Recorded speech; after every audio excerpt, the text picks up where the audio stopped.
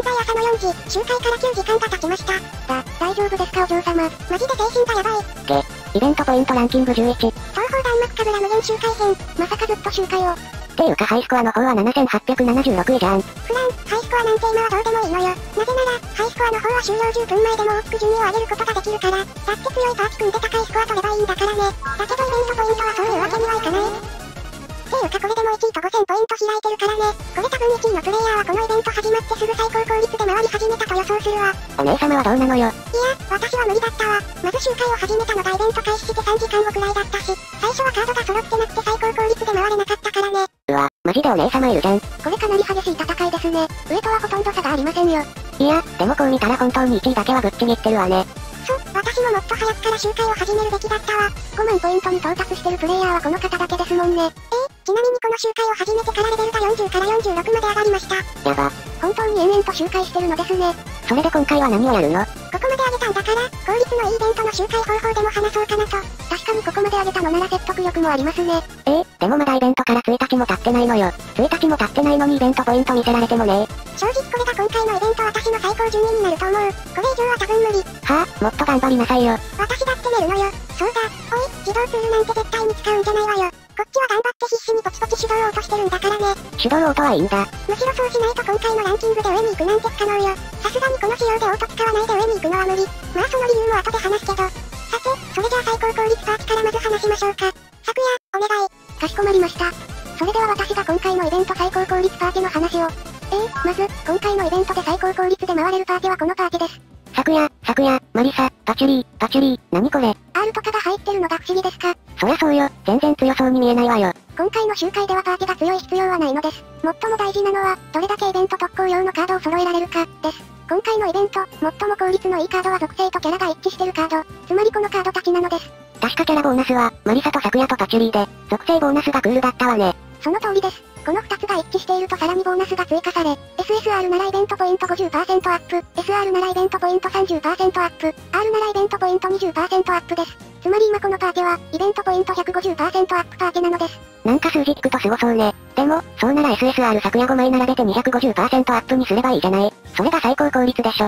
いいえ、それではダメです。同名のカードは2枚目以降イベントボーナス効果を発揮しません。なるほど、だから1枚ずつ別のカードを並べていかないとダメなのね。そうなのです。その結果、も合ってて属性も合ってるとなるとこの5枚になるかと。もしこれ以上に効率のパーティーがあったらごめんなさい。私たちもまだカードを全て把握してるわけではないので。あ、でも別のパーティーも考えられますかこれ。別のパーティー ?R のカードは属性とキャラ一致で20%ボーナスが入るのですが、SSR のカードはキャラ一致だけで20%もらえるのですよ。ですから、R のカードのところを、ここに出てる私とは別の SSR 昨夜か、もしくは SSR のマリサを入れても最高効率パーティーは成立しますね。なるほどねそういうこともあるのね。っていうかさ、これなんでレベル若干上げてるの？パーティに入れるだけでいいんだから、SR はともかく R のカードなんてレベル上げる必要ないじゃない。そこから先は私が話してあげるわ。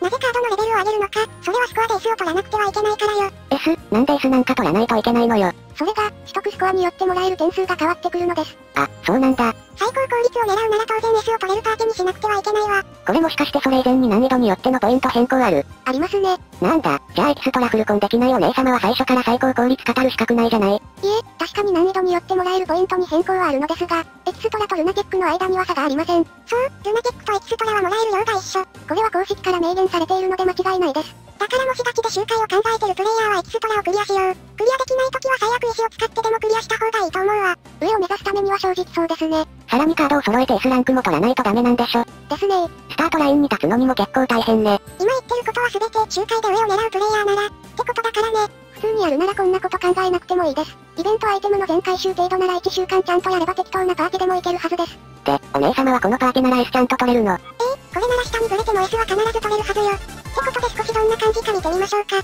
それはミタマバースト使って S なのいや、ミタマバースト使わないです。まあでも、ミタマバーストは自動で打ってくれる設定があるから、怖いならそれをオンにするといいわ。このやる気はどうやって運用していくの？必ず3つ使える時に使いましょう。私は3溜まったら使ってそれ以外はずっと当倍で回ってるわ。で、オートなのね。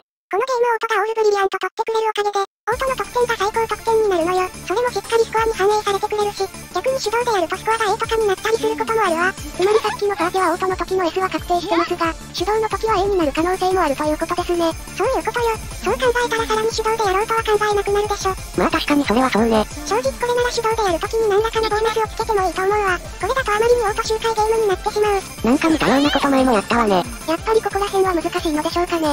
難しいのかもね。どうしても周回に次ぐ周回になるのね。まあそもそもこのイベントが必須ってわけでもないから、全然気にしないで楽しめばいいとも思うんだけど、ちょっと、ランキングとかっちゃうとやっぱりやっちゃうよね。やっぱりこいつかもよ。悪い何かに騙されないでくださいねお嬢様。あと何気にナイス、オブ、ナイスずっと聞いてるのきつい。確か説明では別の曲にもポイントがつくとかいう話だったけど。いや、作りはつくんだけど、その曲の属性がクールじゃなかったら S 取れないのよ。そもそも最高効率狙うんだったらずっと同じ曲やってた方がいいし。じゃあ文句言うな。さすがに10時間近く聴いてると苦しくなってくるのもわかります。っていうか音消せばいいじゃない。音消したら音楽が終わったかどうかわからなくなるでしょ。思考がかなりヤバいことになってるから、その周回やめた方がいいわよお姉様。いやだ、私は、私のカードを最強にするのよ。今回に報酬にはお嬢様のカードも含まれてますからね。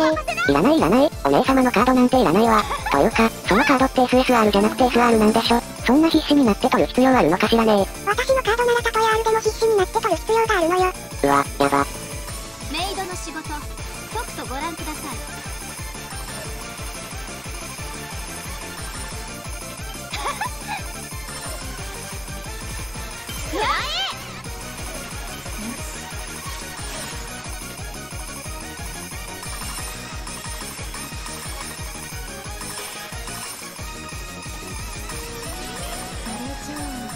お嬢様、そういえばノーツ速度を知りたいという質問が来てましたよ。今は9.0でやってるわよ。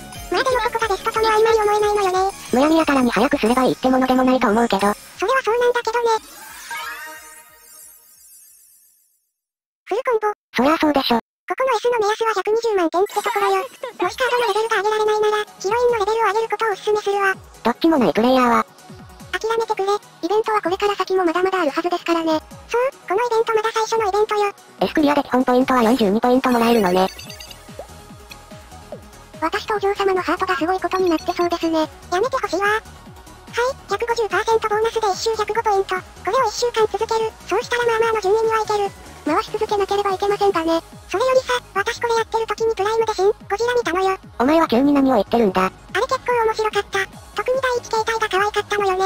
あれをペットにしたいんだけど、連れてきた瞬間コーマ感潰れますよ。ゴジラに食われればいいと思う。総理があんな一瞬で消滅するとは思わなかったわ。もうゴジラはいいでしょう。いや、これだけは言わせてほしい。新、ゴジラ見終わった後、これ続編あるのかしらと思って調べたのよ。そうしてトップに出てきたのが、ドラえもん新、のび太の日本誕生、新しかあってねえじゃねえか。その新もカタカナじゃなくて漢字だからね。新、ゴジラの続編はドラえもんだった。